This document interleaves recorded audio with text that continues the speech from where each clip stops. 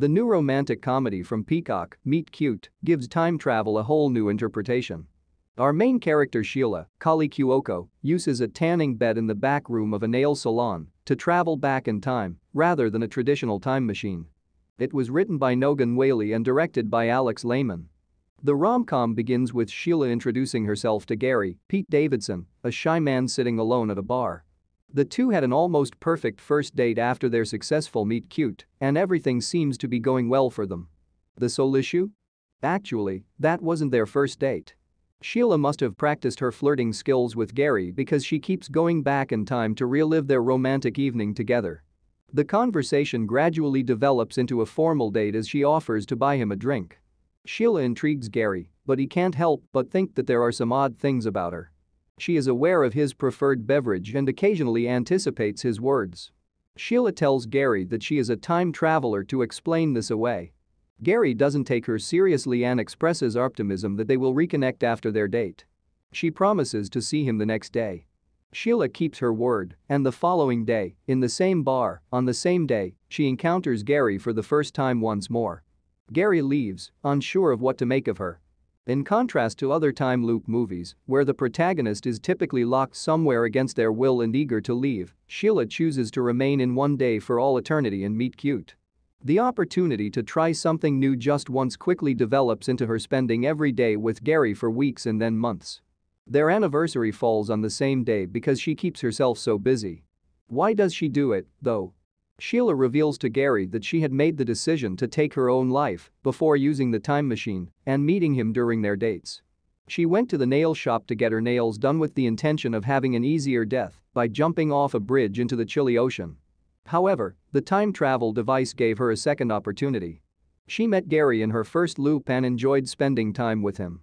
Sheila thought that because their first date was so great, continuing it would only make things worse for them. Her past influenced how she felt about this. It is evident from everything that occurs in the movie that Sheila is depressed. For her, life had always been rather up and down.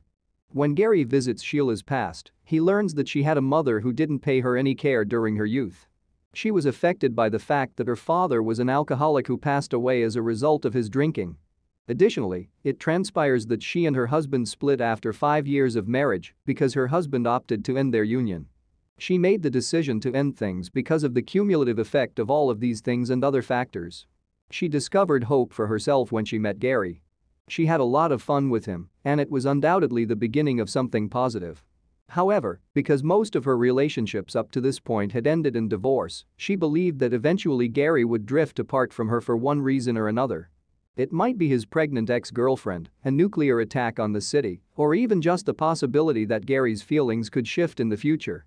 Whatever it would be, Sheila made the decision that staying in this one great day she had with Gary was preferable to moving on and possibly losing him forever. Sheila finally realizes that things need to alter in order for them to be positive after spending a full year with him while they were locked on the same day. She decides it's better if she adheres to her original plan and dies since she grows frustrated with the same routine and the fact that Gary always leaves when she talks about the sad things in her life. Gary appears just as she is about to complete the act and begs her not to leap from the bridge. He begs her to wait till the following day and see what transpires. Even though it's more of a hope, he claims to have glimpsed a future and assures her that she will be in it, regardless of what she chooses to do. He promises to see her tomorrow as he departs, but he is still unsure. Gary pauses to turn around as the new day begins and sees Sheila standing aside. It appears that his prediction of the future was correct after all. Sheila resolves to give the future another opportunity and refrains from jumping off the bridge. Sheila needed to be with Gary, which was the entire purpose of repeating the same day over and over again. She was apprehensive about the following day since she thought a relationship with Gary would eventually come to an end. But the fact that the relationship continues to develop despite the passage of time demonstrates to her that there is no use in repeating the same day. While it has been over a year since she first started seeing Gary, it has only been a few hours since he first met her. They have a terribly lopsided equation because of the time difference, which starts to cause more issues than Sheila did imagine. Gary's recollections of the date with Sheila are erased with each loop. Even if he always meets her for the first time, after getting to know her for more than a year, some things seem to stick. He can recall a few specifics about what Sheila told him during earlier loops. In addition to this, he also starts to feel things for her. On their most recent first date, he confesses to having had conflicting feelings for her the entire time. He simultaneously has the impression that he is having the time of his life and the unwavering conviction that he dislikes her. Although Sheila is unaware of it, Gary's conflicted emotions are a holdover from their previous contacts. The first time they meet is never as blank a page as Sheila thinks it would be. Something from the past sticks and follows you into the future. In the end, Gary makes the choice to investigate the time machine and learns that Sheila wasn't joking. Although he likes her, he is unwilling to meet her for the first time again.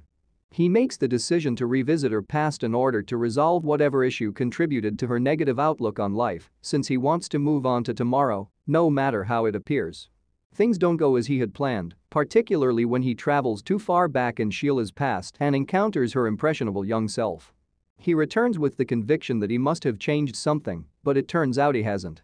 Sheila is about to jump when he runs into her on the bridge. To his relief, she accepts when he persuades her to give the next day another chance. Finally, they enter tomorrow together, demonstrating that they are prepared to accept events as they arise. Life will still be difficult, and occasionally, things might go wrong. But for the time being, they are prepared to move things further by going on a second date.